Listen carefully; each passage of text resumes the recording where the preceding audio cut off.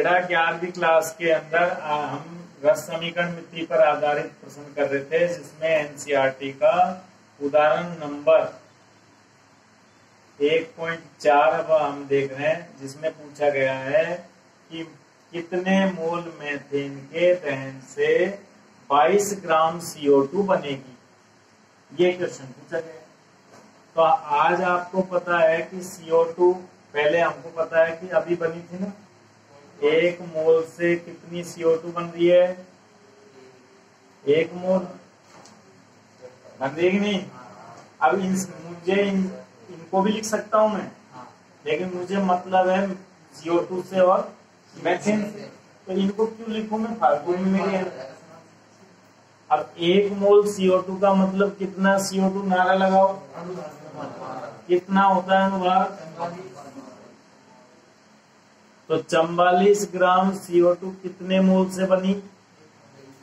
एक मोल से। लेकिन प्रश्न पूछ रहा है 22 ग्राम CO2 कितने मोल मैथेन के दहन से बनेगी?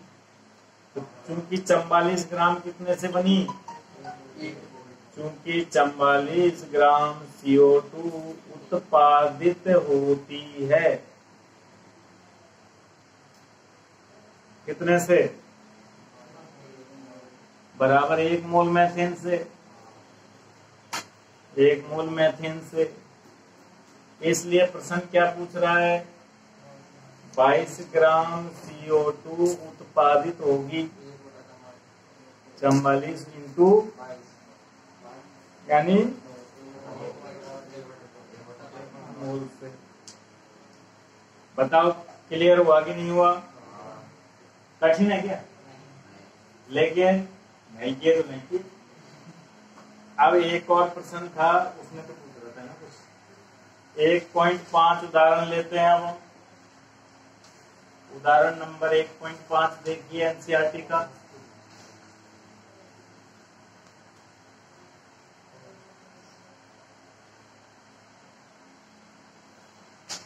उदाहरण नंबर एक पॉइंट पाँच। कह रहा है पचास के जी एन टू गैस और कितना? दस के जी हाइड्रोजन को को NH3 बनाने के लिए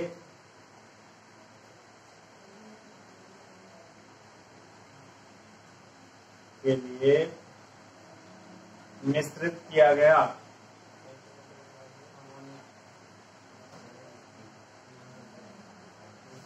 किया जाता है। एनएच थ्री उत्पादन के लिए सीमांत अभिक्रम बताना है। क्या बताना है? सीमांत अभिक्रम की गणना करनी है। तो सुन लो बेटा आपको क्या दिया पहले तो ये बताओ अमोनिया कैसे बनता है इनसे? समीकरण क्या रहती है? तो बताया क्या नाम तेरा? भवर भवर सिंह पवन सिंह। है? पवन, तू बता कि एन टू अभिक्रिया की समीकरण क्या होगी? एन टू एस टू क्या बनाते हैं? तो समीकरण क्या होगी? N two plus H two is equal to N H three अब तुझे पता है समीकरण संतुलित है क्या? तो संतुलित करने के लिए क्या करोगे? अब हो गए ना संतुलित। अब पढ़ के सुनाओ। एक मोल नाइट्रोजन, तीन मोल हाइड्रोजन से क्रिया करके, दो मोल अमोनिया बनाता है। ए अब नारा। एक मोल बोले तो मतलब अट्ठाईस ग्राम। कितने से? छह ग्राम से। कितना? अरे अड़सठ कैसे हो गया? चौतीस ही तो होगा दो मोल में। चौतीस ग्राम। भाई, एक मोल में अणुभार और दो मोल में चौतीस ग्राम। अब मैं ये कहूँ ये ग्राम है। अगर ये 28 ग्राम है तो इसको मैं 28 किलो कर दूँ तो ये कितने से क्रिया करेगी? और वो कितना बनेगा? सबको किलो कर दिया ना मैंने? क्योंकि हमको सूचनाएँ किस फॉर्म में दी गई है। तो अब ये रस समीकरण थी द्रव्यमान के रूप में हो गई। कि 28 किलो नाइट्रोजन 6 किलो हाइड्रोजन से 34 किलो अमोनिया बनाती। है अब आपको दिया क्या है लेकिन? दिया है 28 किलो का मतलब कितना दिया नाइट्रोजन तो 50 किलो। और ये? 10 किलो। और पूछा क्या है? सीमांत अभिकर्मण। लेकिन तुम जानते हो सीमांत अभिकर्मण कौन होता है? जो कि अभिक्रिया के दौरान पूरा खर्च होता है। अब हमको क्या पता है ये, हमको तो ये पता है कि 28 किलो के लिए 6 किलो खर्च होता है। तो 28 गुना छप्पन किलो के लिए 12 किलो खर्च होगा। लेकिन हमको 50 का पता नहीं है। तो देख लेते हैं ना, चेक कर लेते हैं। भाई, चूँकि 28 किलो खर्च होता है 28 किलो खर्च होता है तो ये हाइड्रोजन कितना खर्च होता है? छह किलो। इसलिए एक किलो खर्च होने पर ये कितना खर्च होगा? छह बटा अट्ठाईस। और इसलिए आज हमारे पास कितना है? पचास किलो है ना? तो पचास किलो खर्च होने पर कितना खर्च होगा? छह बटा अट्ठाईस इंटू पचास। कितना होगा? काटो ये तीन और ये चौदह और तीन पंजे पंद्रह एक सौ पचास में कितने का भाग? चौदह का भाग देना है। चौदह एकम चौदह। भाई दस किलो से तो ज़्यादा ही आएगा। और ये तो दस किलो ही है ना। और वो पौने ग्यारह किलो खर्च हो रहा है तो खर्च हो जाएगा क्या? तो इसका मतलब ये क्रिया, ये पूरा पचास किलो खर्च नहीं हो रहा फिर तो। इसका यही मतलब है ना तो ये पूरा पचास किलो खर्च नहीं हो रहा तो कितना खर्च हो रहा है अब इससे कर, अब हम इसको तो दस में से दस खर्च कर देते हैं। तो अब ये पचास किलो में से कितना खर्च होगा, उसको पता लगाते हैं। तो आपको पता क्या है, लेकिन छह किलो खर्च होता है, तब ये कितना होता है? अब इससे लगाओ, चूँकि छ के जी एच टू खर्च होता, क्रिया करता है। एच टू क्रिया करता है।